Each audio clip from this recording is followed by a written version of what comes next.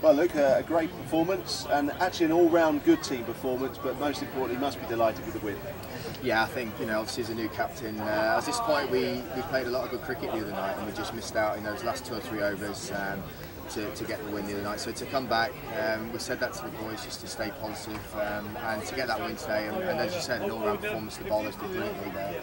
Um, was really pleasing starting with the batting, it was one of those ones where at one stage it looked like it might get 200, and then the next minute 140, and in the end it was somewhere in between.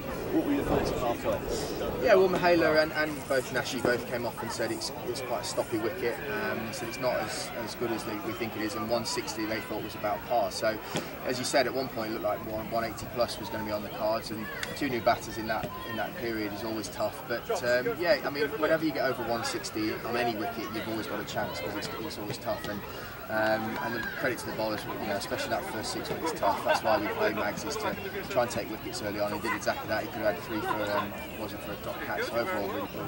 And when it came to the bowlers, because obviously there's so many players that have been injured bowler-wise at the club at the moment every player did their bit, didn't they? Yeah, we've obviously we've been uh, it's been hard with a lot of people getting injured, but one thing it's done is it's given people chances, and we've seen obviously Ollie Robinson, um, a bloke I've never seen someone take an opportunity like it. Obviously in four days he only got 100 and forfeit, and, um, and he's he's become a really important creator of us. Saw him at the death again today, how well he bowled.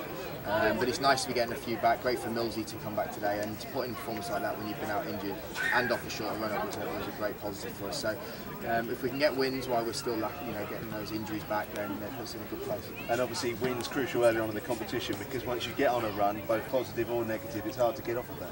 It is. That's the way, and you want you don't want people feeling scared to go out there and play their natural game. And um, I was delighted for Chops today. I know he got 19, but it was off a few balls, and to see him free himself up, he could have easily um, gone the opposite way. And um, but I was pleased to see that. And for all the boys, everyone's working really hard. And I think one thing this pre-season we've really focused on was our fielding. We want to get better, and um, to see the guys chucking themselves about like that was a, a really positive. So overall, nice to get a win, but. Uh, you know, a lot of things to, to still work on and get better at, but um, overall very happy. And just finally for you, uh, we asked you at the toss about how you were enjoying captaincy. Much better today on the day at home with a win in front of a great crowd.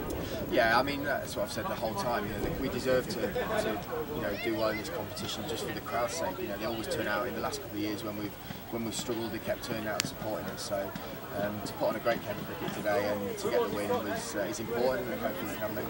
Well played. Cheers.